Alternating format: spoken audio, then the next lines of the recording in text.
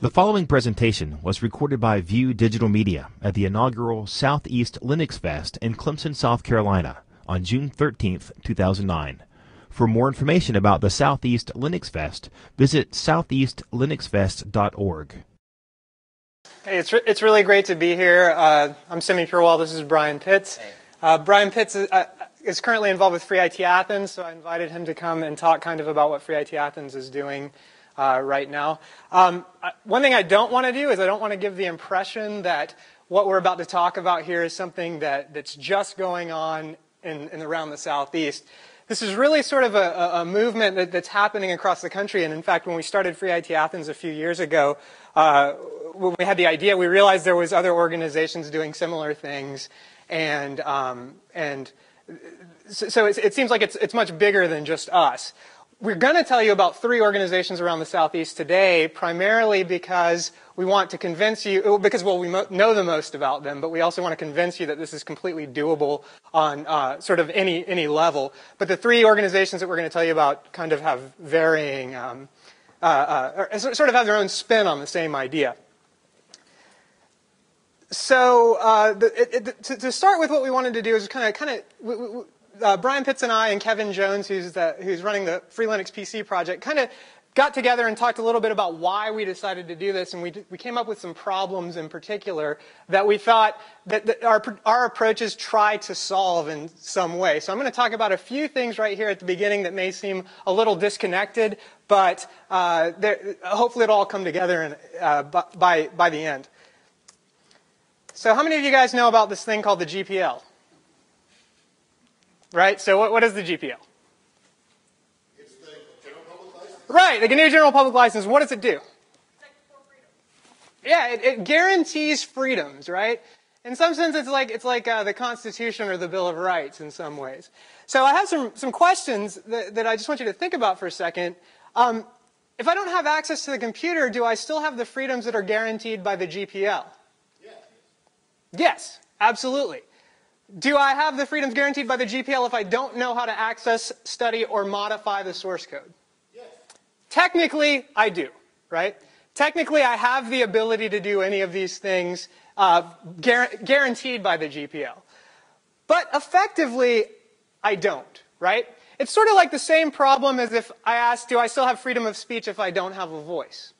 Do, uh, do, I, do I still have freedom of the press if I'm illiterate and I can't write? Right? So technically we do have freedoms guaranteed by the GPL, but effectively we don't if we don't have access to a computer and we don't know how to uh, modify the source code. So what we as, as open source advocates, and I, and I, think that part of the reason we're all here today is because we have, we're, we're partially advocates for open source and free software, we have to ask ourselves, how important are these freedoms to us? Freedom of speech and freedom of the press and things like that are very, very important, and they've been important for a very, very long time. So at this point, it's, it's codified in, in, the Constitution, and we spend a lot of time teaching kids and, and, and, and society about these freedoms, right? Uh, every kid knows that they have freedom of speech by the time they get to high school and freedom of the press, and they'll, and they'll say that. I mean, even little kids will say, you know, I have freedom of speech. I can say whatever I want. So it, it's, it's, a, it's a common thing that we all are aware of very early on. Unfortunately, it's not true with the freedoms guaranteed by the GPL. So if we think that these are important, we need somebody to be out in the communities teaching these things to kids and to society as a whole as about, um, about the freedoms that are guaranteed by the GPL and what they can do for us, what, how we, can use them effectively. Uh, so, so yeah, so, so, so basically the point is, is if we're going to believe that these freedoms are really, really important, we need to be the ones doing it because nobody else is going to do it. The education system has enough stuff on their plate already. it's going to be us, those of us that are advocates doing it. The other thing I wanted to bring up is that in this day and age, technical skills equals power, right? If we have technical skills, we have power. I think that uh, a lot of times, though, those of us that are involved in the open source movement kind of take for granted some of the technical skills that we do have that not everyone has. For instance, how many of you can easily create an electronic resume? Well, I would hope everyone. I'm, seeing, I'm not seeing all the hands. Yeah. Uh, uh, so most of you guys have no problem creating a resume and would never even think twice about it. Not everyone has that power. Not everyone is, knows about how to use the internet and can find a job on Craigslist. And in, in this day and age, the, where, where, the jobs are few and far between, they need to be able to know how to do that.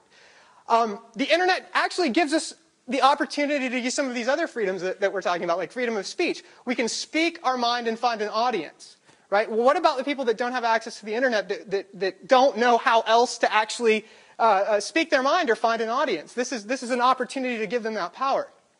But the other thing is that we sometimes take for granted is we have the ability to build, for instance, the next big social media application. So uh, I'm going to tell a quick story. When, when I first started out at Free IT Athens, when we first started our big recycling program, there was a, a gentleman that came in that uh, uh, was really, really excited because we were going to give him a computer after 12 hours of, of community service. And, and, Brian will talk a little bit about that in a second. But he uh, wanted to get a laptop for his daughter. And he was like, he was very excited about getting a laptop for his daughter. So he, he came in and he was really gung ho. He was getting into everything. He was wanting to know how everything was working. He was asking us how, uh, uh, how, how, we were doing things on the computer and all these other things. At the end of the 12 hours, he got his laptop. I gave him my phone number and I was like, you know, if you ever have a problem, just give me a call. And, and, and I want you to, uh, uh you know, feel free to call me and I'll, I'll be, be, happy to try to walk you through stuff on the phone. So, so he did it a couple times. So he called me and I would walk him through stuff on the phone. But one day I got a phone call from him and he was calling me with an idea. He was like, and this is an older guy. I mean, he was, he was pretty old. And he, he was telling me about a time that he worked in a grocery store as a clerk, and he had this idea on how to, uh, well, I don't want to give away the idea because he didn't give me permission to. But the point is, he had an entrepreneurial idea that was generated by the time he spent with us at Free IT Athens, right? I mean, and this is really sort of exactly what we want to do. We want to show people the power that they have with, the, with, with uh, technology and the way that you can, ways that you can be creative with it. And it's entirely possible that a lot of people just haven't had the opportunity to see that sort of thing. How many of you guys heard of the digital divide? Yeah, the digital divide. It, it, it's sort of the, the idea that, that, that, there's this, this, this, a global digital divide where a lot of people have access to computers and a lot of people don't. And the ones that don't have access to computers and technology are falling behind. In the United States, we have a digital divide. I don't think that that's very arguable. But there is a common criticism of the digital divide in the United States. Does anybody know what that is? It's that it's temporary, that it's not going to be with us forever in the United States. And in my experience working with the Gussie Greene Project, I've found that this is probably the case. The, the, in the, the Gussie Greene project, we've had kids coming into our computer lab and constantly, uh, they are way, way more prepared to be playing with computers than adults. They are not scared of the thing, right? So they're going to grow up and they're going to be comfortable with technology. They may not have the technology uh, in, their, in their homes like we do, but they're going to be a lot more comfortable with it than, uh, th- than the, the current adults are. But we also get the adults the first class we taught at Gussie Greene as a community project, we had somebody come in and he sat down at the computer for the first time and he looked down and he put his hands up and he looked at me. The keyboard was sitting right in front of him, right? And he was like, I, I had to tell him, it's okay, go ahead, touch it, man. It's not gonna, it's not gonna hurt you. And he, he put his hands on the keyboard and he started typing. And, we, and we, I, I set up a, a K-Touch for him. So K-Touch is a typing program where he could practice typing. And, and, he, and he started doing it. And you could sort of see the fear start to melt away. And the more that we taught him about these things, the, the, the more comfortable he got. Who is willing to tell this guy, hey, the digital divide in the United States is temporary? So we shouldn't worry about it. I think we should. I think that we have a, a big opportunity to sort of get out into the community and actually start doing these things. What, what is this picture of?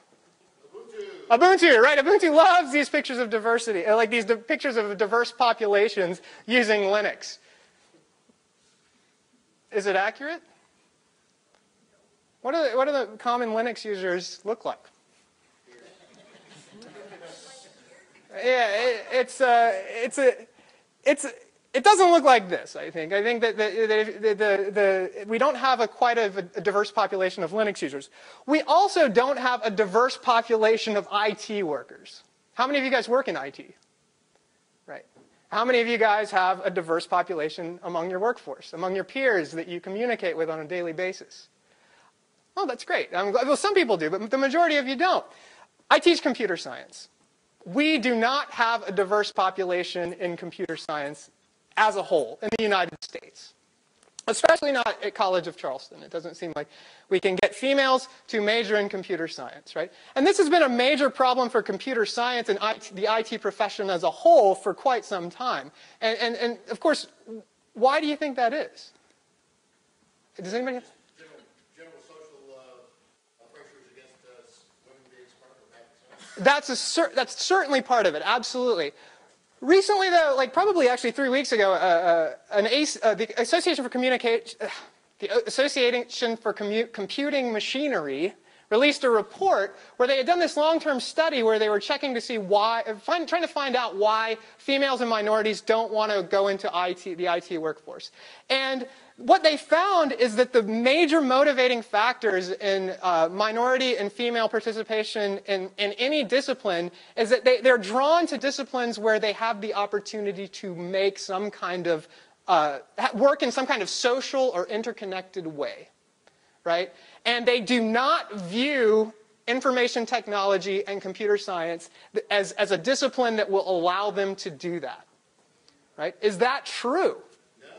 Absolutely not. We're, we're tr- that's exactly the point that we're trying to make. That we're trying to demonstrate that you can go, you can learn about IT, and then you can go out and work in your community. It's absolutely, without a doubt, a possibility. And and and the the goal being that that that, that will show the, the world that it's possible to change the world through IT and computer science.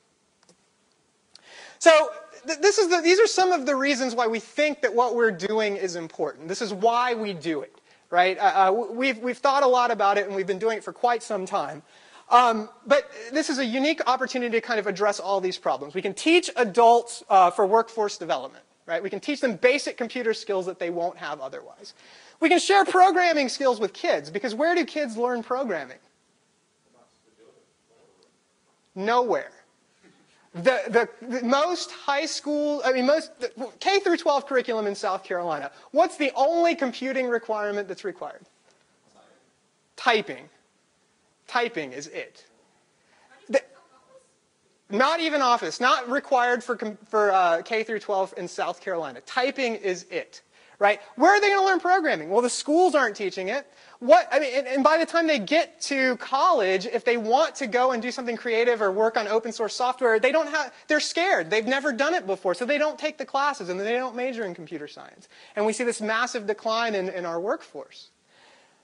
We can advocate for software freedom, which is something we should be doing anyway. I was really, really happy to see in the keynote today that somebody used the word evangelizing. Because I think that, that I agree that, that, that, uh, that, that we need to be evangelizing for open source because nobody is going to do it for us. Microsoft has an army out there of, of, of marketing people that are, that, that, that, are doing so much marketing, and, and we just don't. So, this is another opportunity for us to advocate for this. We can show non techies that IT is directly related to people by, by, by living by example, by showing that we can go out and work in our communities and do positive things.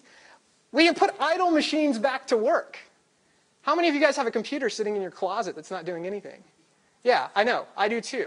I had, I had a lot more before I started working with Free IT Athens, right? Yeah, yeah, right. Yeah. How many of you guys have 10, right? So, so those, those machines could be used. I mean, there's, there's communities that don't have computers. Uh, and last but not least, the volunteers and the, uh, the volunteers and, and, and the, the, the organizations that we help, they become free software advocates and that there's nothing better than having growing our, our community and, and becoming and having more people become active and, and, and uh, advocate for the things that we believe in. So Free IT Athens is the first organization that, that we're going to talk about. And I'm going to let Brian uh, talk about this, but, but before we do, I, will just tell you a little bit about background. Michael Moore, right here. Uh, Michael Moore and I and one other guy named Michael Luckton were in graduate school at the, uh, well, Michael Luckton wasn't, but we were in graduate school at the University of Georgia and decided, you know, to having these kinds of conversations, we decided, hey, we need this kind of organization in Athens to help with the poverty problem, or to, to, at least put idle machines back to work. We had all sorts of reasons that we were doing this. And so in 2005, we got together and started doing it. And it started out very slow, uh, but we, we, we got a lot of work done. We set up an infrastructure, and it's been going to this day. Uh, uh Michael left, I think, in 2006. I left in 2007. And Brian and uh, Clint Ricker, who's sitting right there, and a few other folks, uh, sort of took it over and have made it an actual major force in the Athens community. And Brian will tell you a little bit more about Free IT. Yeah, thanks, Semmy. So I want to tell you a little bit about what Free IT is doing right now. Some of our current programs kind of show you what seems to be working in Athens and give you some ideas for what might be useful in your own community. So um, Semmy's already given you a bit of background, and we've talked about some of the motivations for it. So I'll move on. And the program that kind of underlies most of the other work we're doing is the recycling program. We try and recruit individuals in the community and businesses in the community to, when they have hardware they're no longer using, um, maybe they've just bought a new computer or maybe it's broken, they don't know how to fix it, to instead of taking it to the landfill, to bring it to us. And that we can then allow volunteers to take that computer, to break, break it apart to figure out the hardware, what's working, and what isn't, rebuild the machine, and then load it with Ubuntu and other free and open source software, and then the, get the computer ready to be put back in the community. So uh, this program really is a great opportunity for volunteers who don't have a lot of experience already with computers because the dedicated experienced staff can walk them through working on the computer can help them understand the hardware, can teach them about the software. And so by volunteering, they can gain a lot of skills. Now, most of this volunteer work takes place during our open hours. Open hours, we have them two days a week. Right now, Wednesday is from 6 to 8 p.m., and Sunday is from 1 to 5 p.m., and a little second story room at a little old school building we've been lucky to get access to. And uh, during these open hours, our volunteers can come in and work on processing the computers that have been donated. People who want to donate the computers can come by. They can drop them off. We can give them a receipt so they can get, you know, the tax deduction for making the donation and people who need computer help. Maybe they're people who we've given computers to in the past and they're having trouble with the computers, or maybe you know they've got that computer with Windows that they got at Best Buy and it's full of viruses and they'd like to find a better way to use the computer. We're there with our volunteers to help them solve those problems, to help them learn how they need to do something, or help them you know get open source software installed on the computer. Now, people who want to get a computer from us, there's a, a couple different avenues they can pursue. One of those is by volunteering with us for 12 hours, they can earn a computer. And this means essentially they can walk in with maybe no computer experience whatsoever, and at the end of 12 hours, they've been able to build their own computer, they've installed the operating system, they know how the software works, and then they can take it home. And some people who do this will just take the computer home, and that'll be the last we'll ever hear from them. But many other people, as they're doing this, they get excited about the work they're doing. They get excited about what they've learned, and they want to share that with other people, and so they'll stay on and be continuing volunteers. Now, not everyone does have the time to volunteer and get a computer that way, so we do computer sales and grants. Um, for computer sales to individuals, we ask $50 if the computer is being used by an adult, or $25 if it's going to be used by a kid. That price is for the complete computer system. We're talking a desktop that's at least Pentium 3, 384 megs of RAM, you know, 10 gig hard drive, sound, video, network card, the keyboard and the mouse, everything you need to have a usable system loaded with Ubuntu, loaded with additional education software and productivity software to make it useful for people. And so individuals can buy those computers. Nonprofit groups, community groups around Athens, they can buy computers too. Or, if they like, they can apply to our grant program where they'll explain to us what their information technology needs are and how the computers are going to help them improve a program they offer or offer a new program. And then they can get free hardware if we approve that grant request. One um, new program we started offering is a partnership with the school district, and this has been really uh, huge for us and helped us really expand our impact. Where now the Athens Clarke County School District, they're on like a three, four year hardware refresh cycle. So when they're ready to replace their machines, instead of just sending them to the state surplus program where they'll probably be bought by some wholesaler and then sold on eBay or something, they give the machines to us. Our volunteers prepare them just like we prepare the other computers I've talked about. And then we work with the Family Engagement Office at the school district to get these computers back out to the families and students who need them the most, or to get them to community organizations that are doing work with kids in after school programs because the school district has a lot of information on families. They know how many kids are in a household, they know if they're on free or reduced lunch, they can survey families and ask them, you know, do you already have a computer in the home already? So this is really helping us to target the services we provide to the population in Athens that needs the help the most. And the, the final main project we work on is training courses. Um, really, if you hand people a computer, yeah, in some aspects you've bridged the digital divide, assuming they know how to turn it on but maybe they won't. Unless you provide the training on how to set up the hardware and how to use the software, giving someone a computer is not that useful. So whenever we're distributing computers, we make sure people go through a basic training course where they understand how the hardware works and how to take care of the computer where we walk them through setting up that initial user account. So, you know, we don't get the phone calls saying, hey, I forgot my password. So they understand how to do things like start open office and save a file in Microsoft format to their jump drive so maybe they can take it to work and print it out.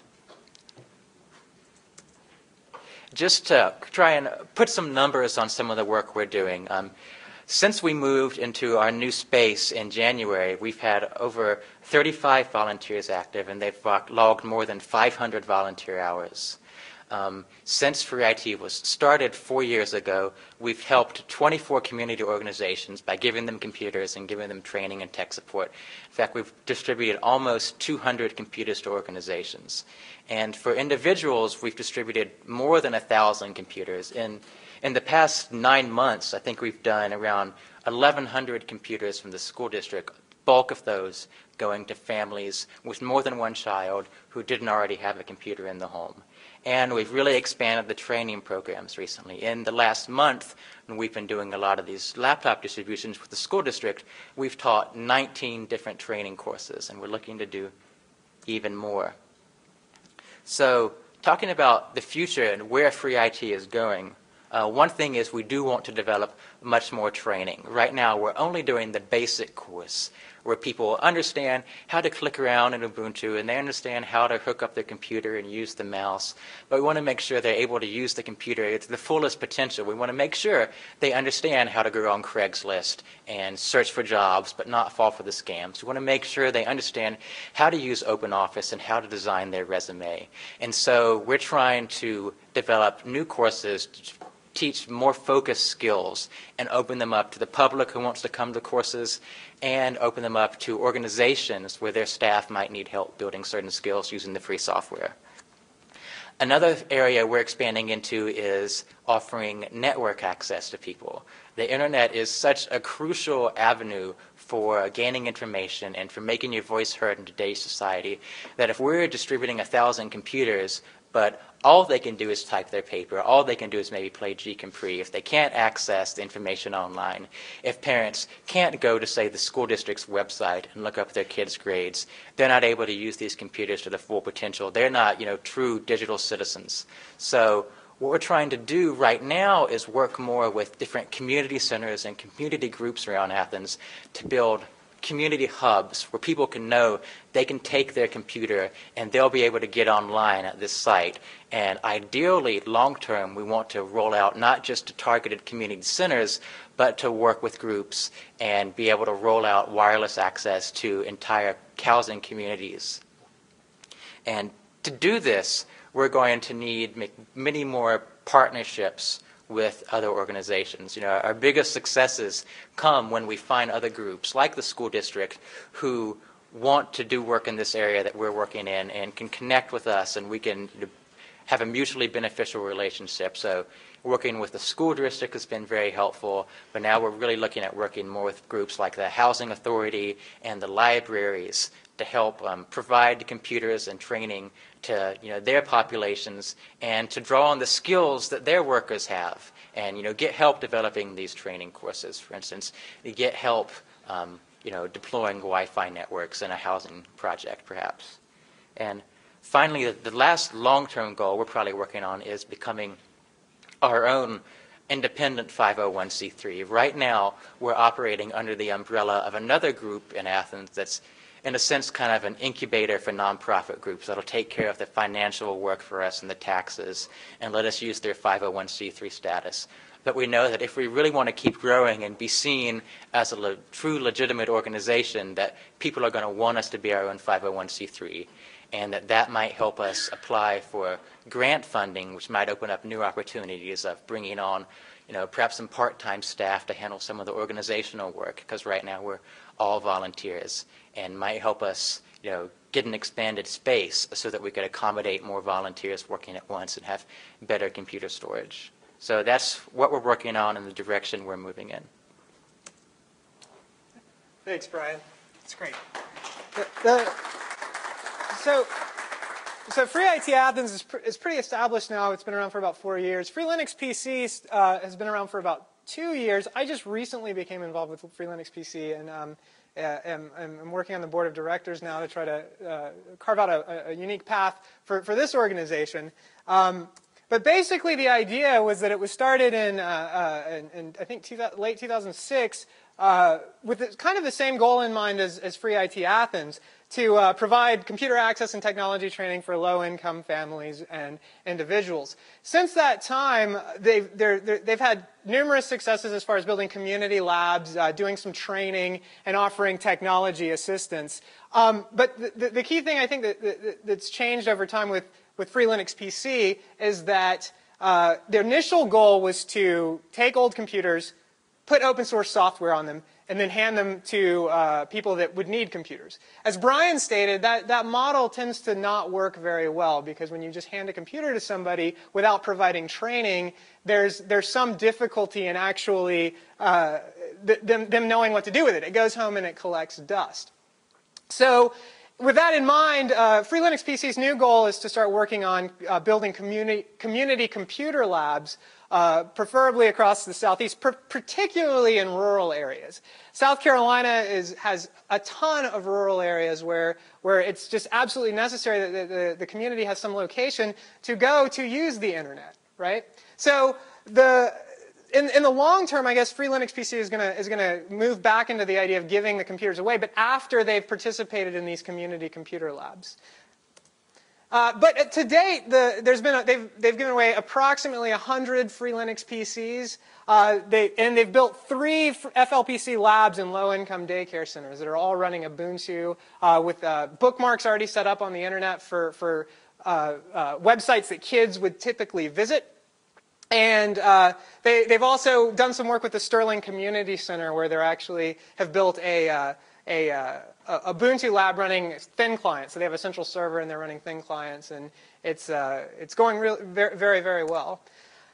The future, though, as, as, time's going on, one of the things that we're looking at doing with Free Linux PC, and we've already kind of set this up, is, is to let Free Linux PC kind of be a glue for all these organizations that are cropping up all over the country, not just the Southeast. So, for instance, uh, Free IT Athens has a ton of knowledge to share about their experiences. We made rookie mistakes at the beginning. Free Linux PC made rookie mistakes at the beginning. Everybody's going to do that. But the goal is to try to minimize these mistakes across the board by sharing what's happened. Right? By keeping track of how things are going, to let people know about our failures so they don't repeat them right? So in, in, with that in mind, uh, uh, we've set up this uh, website, freelinuxpc.org, where uh, the goal is, of course, to learn, share, and connect. And basically, it's about getting open source software into the community however we can right? And so we've got a wiki available. Uh, we, have set up a, uh, well, Brian actually set up the, the open technology list, which I'll tell you about in a second. And we're trying to sort of coordinate our efforts to some extent. We do not want to be an organization that tells everybody else what they have to do. We want to be an, or, an organization that just like connects a lot of these organizations for the reasons that I, I, said. We have a wiki set up now, and that, that's something that, that anybody has access to. So if you're interested in doing this, we can talk to you about it afterwards. So the Gussie Greene Community uh, Technology Center, and I misspelled green. It's actually G-R-E-E-N-E.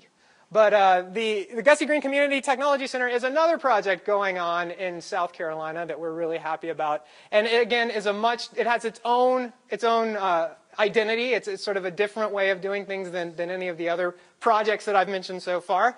But it's, so far, it's one of the more top-down projects. So, so I think that Free Linux PC is very grassroots, and, and, um, and Free IT Athens is very grassroots. But one of the great things about uh, the, the Gussie Greene project is we have a lot of collaborators that are already uh, uh, pretty established and have been able to provide resources to, so that we can get a lot done very quickly. Uh, the first thing is that it's in North Charleston, South Carolina. You, has anybody ever visited North Charleston on vacation? Oh, good, excellent, lots of you.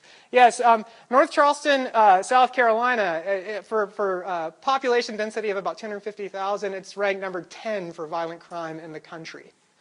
So it, it, there, there's a serious poverty problem, and it leads to violent crime in North Charleston, South Carolina.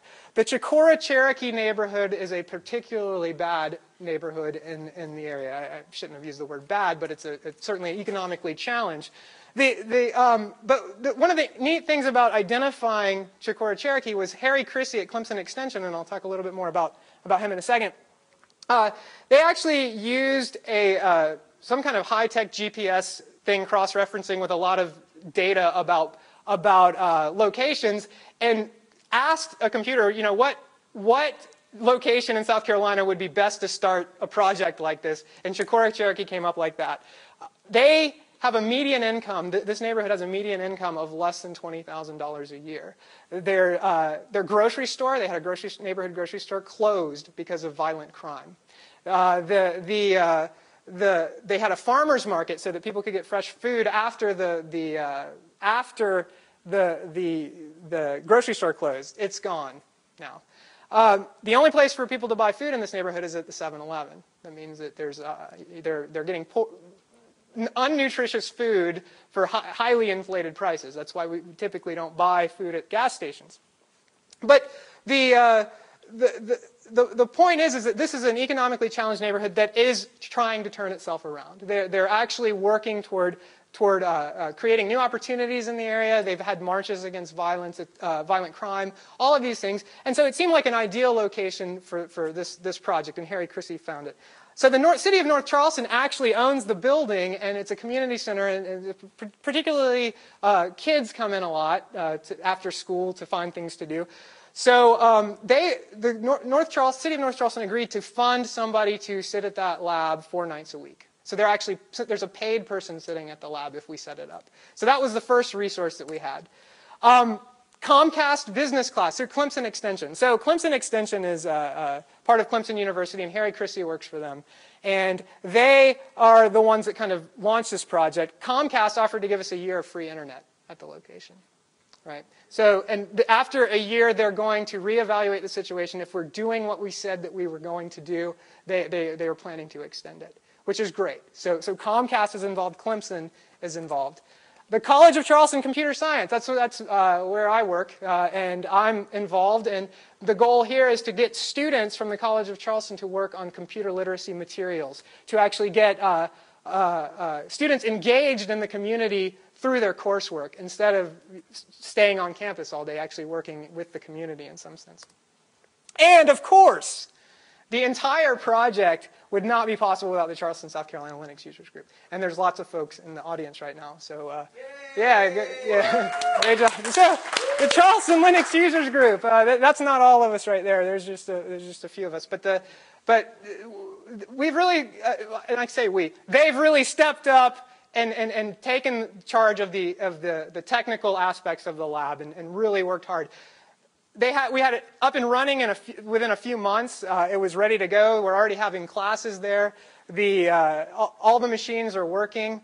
The Linux users group is also regularly attending the classes. So Harry Christie of Clemson Extension is developing some course materials, but members of the Linux users group are always at the lab during classes helping out people individually. It's, it's really an amazing thing to see.